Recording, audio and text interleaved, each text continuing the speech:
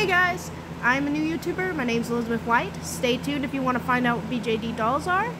Or if you are one, in a couple of days, including a week, I'm going to be having a BJD doll opening box video. Thank you.